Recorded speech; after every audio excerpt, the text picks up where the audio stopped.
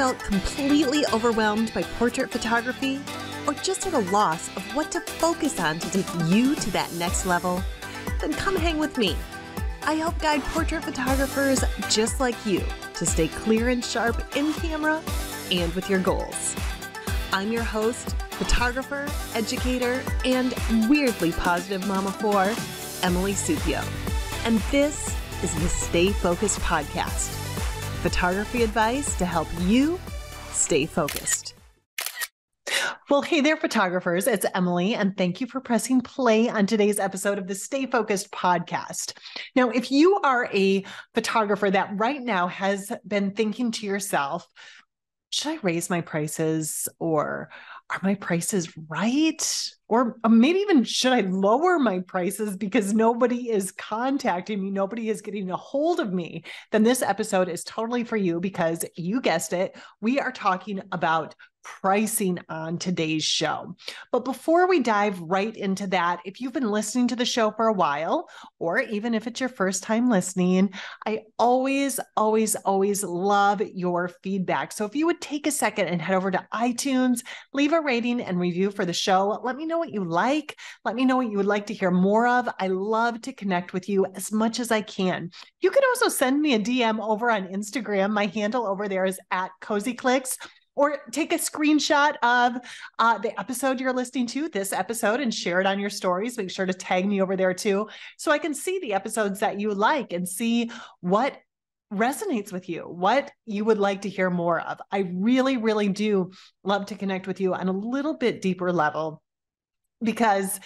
I know it's a little bit of a one way street when it comes to this podcast, right? We're not, you're not sitting right in front of me talking to me. So any way that we connect. I really, really love that.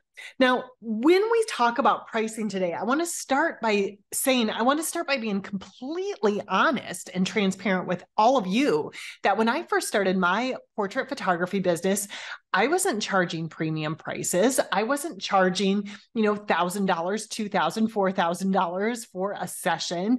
I started my portrait photography business charging $50 a session.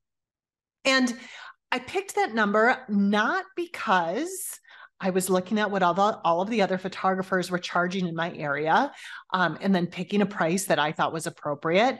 I did not pick $50, definitely did not pick $50 because I was adding up all my expenses and then figuring out what would make me a profit. I definitely did that. The reason I picked $50 at first was because I just thought that was my belief that that was an appropriate price for a new photographer.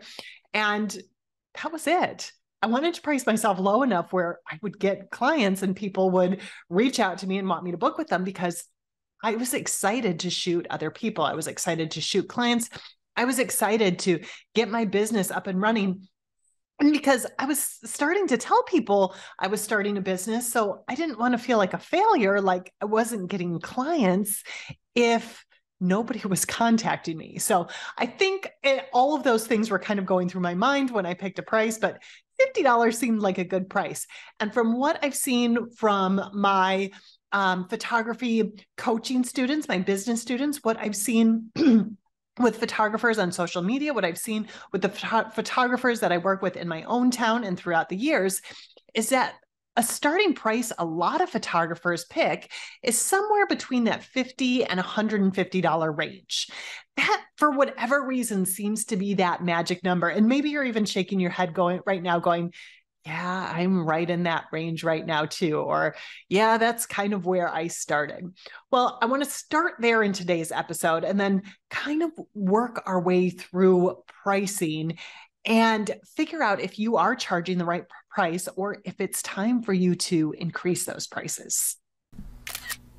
If you are looking for some more individualized help with your pricing, or if you'd just like to know how to grow your photography business, then I would love to help you out. You can register today for my free online business class by going to cozyclicks.com forward slash Business Class.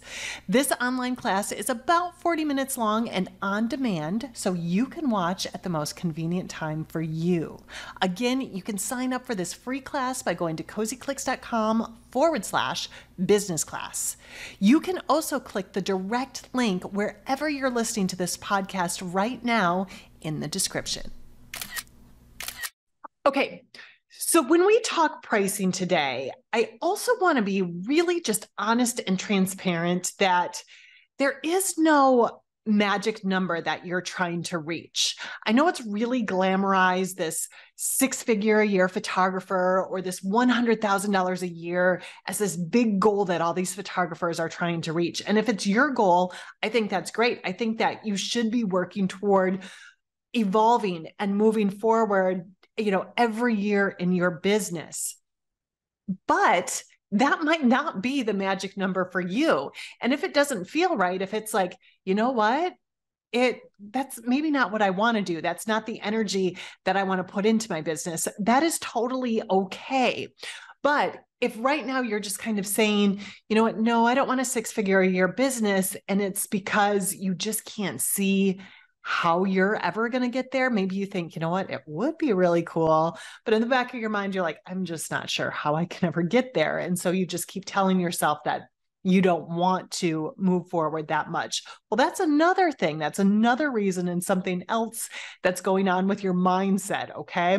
So let's start with that first piece of it that maybe you just really truly don't want a six figure job and that's totally fine. Maybe you know the energy maybe you know the time investment that it takes into growing a business and that's just not you right now. Maybe you've got lots of little kids at home. Maybe you are you know pregnant. Maybe you have another job. Maybe this is something you just want to do you know for fun and it's not something you necessarily want to do and grow into something that is that you know huge of a business, that's totally okay.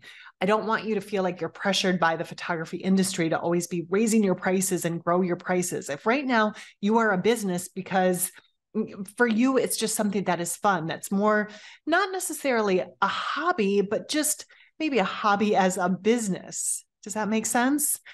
That's totally okay. But what I find is that a lot of photographers are in that second camp that I was just talking about, where you tell people, or you even tell yourself, maybe you don't tell other people, but you tell yourself, you know what, I am. I don't need a six figure a year job, or, you know, that, that doesn't interest me much. But the reason you're saying it is because you just don't see it being possible for you. But let me tell you, it is so 100% possible for you. And I want to break it down like this for you because I think when I break it down like this, especially when I talk to my students about this that are part of my coaching program, it's like suddenly, you know, like a light bulb goes off and it's like, oh, yeah, I can do this. So let me explain. Let me try to give you a good visual of how this could happen for you. Now, if you want to make $100,000 a year, and you're charging what a lot of photographers charge at first between that 50 to 150 and we're going to we're going to make it the you know the the higher end of that initial scale at first. Well if you want to get to $100000 a year you have to find 83 clients every single month. Every month find 83 clients who are going to pay you that $150 in order to get six figures a year that's why it seems so far, so out of reach. That's hard to do, you guys, to find 83 people each and every month. Not only is that hard to do that, to hard to find that many people to pay you, but it's going to totally burn you out. You're going to be working and shooting and editing and getting back to emails and getting back to client questions and it, it's the it's just a recipe for burnout. It just doesn't it just doesn't work. Maybe some of you have done it. I don't know. I don't know if i've ever crossed someone who has. If you have let me know. I'd love to actually interview you on the show if you've done that before but it's a recipe for burnout. So when you stick to that small price point it's easy to get caught up with yeah i you know thinking yeah i can't ever get to that $100000 mark because it it really is it really seems impossible But if you choose to position yourself a little bit more premium, and when I say that, it doesn't mean that you have to be charging $5,000 a session for your portrait work. Let me give you another perspective on this right here. Okay let's say you want to make 50k a year $50000 a year which is a great salary still right? Especially for your own business if you're making 50000 well if you were charging just a little bit over $400 a session which i think is a reasonable amount right? Especially a reasonable price hike if you're going from 150 you'd only have to find 10 10 people every month. That sounds a lot better than 83 right that's totally, totally doable to find 10 clients a month at just a little over $400 a session. And you're at 50K. That, that sounds like you can make it happen, right?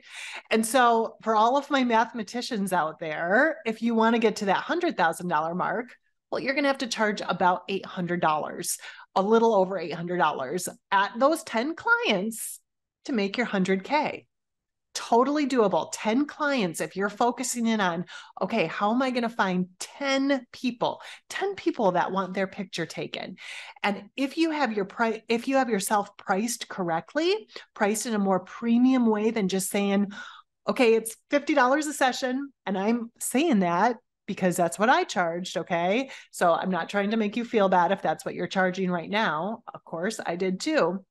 But I want to give you some perspective that you don't have to be this photographer that's a, a, premium photographer that's charging five six thousand dollars a session because that kind of seems way out of reach too. It most definitely can happen if you position yourself correctly but it seems really far out of reach for a lot of photographers and kind of stops them in their their growth their business growth.